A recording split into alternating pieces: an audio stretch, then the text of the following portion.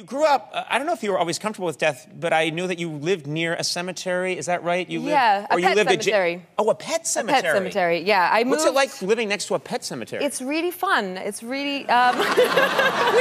It actually- Yay! I know. What are you doing right now? Let's play fetch. You throw a ball, nothing. Yeah. I guess he fell in. All right. He's dead. Yeah. It was funny actually because I moved to England when I was a teenager and then um, my American friends would come and visit me and they'd expect some kind of quaint Englishness and I was like, guys, guess what I have? And we'd go and there was this pet cemetery that was next to our house. It was kind of this old house and people in England are really passionate about their pets and they're passionate everywhere, you know, but they had this bona fide pet cemetery that looked everything like a normal cemetery except the names on it were like Fluffy and Bobo and they kind of sounded porn names, like like Fluffer even. Um, and so you had this like really Bobo's not a setting. porn name.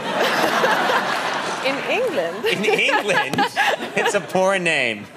Bobo meets Fluffy. yeah, And so the real, real monuments, real like real monuments that a human Oh, would have, except it has their silly. Uh, it had names. like a portrait of, of Bobo and Fluff Fluff and and and you know, Big Ron. I don't know. Now you're now you're trying to make them sound like porn names. that was my cat, Ron Jeremy. yeah, That's all. What? What? Uh, that's not so weird. yeah. I just love that you tell your teenage friends, "Have I got something for you?" la la la, Pet Cemetery. I think they think you're gonna bust Yeah. out a bong or something Yeah. amazing is gonna happen. Yeah. No, we had this funny little gazebo though too, and we used to practice rolling spliffs with green tea.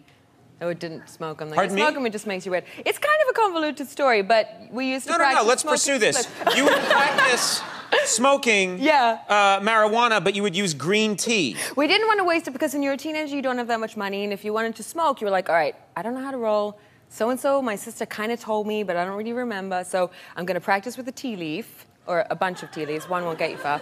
Um, and so we'd sit in this little gazebo and like make these pretend spliffs. And then we thought we might as well just see what happens when you smoke PG tips. So you get really caffeinated.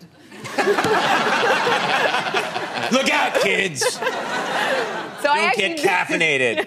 So that's what happens? Yeah, I'm like a t- tea pusher. I don't push drugs on people. But you get like an mmm, Earl Grey man, you know? Yeah.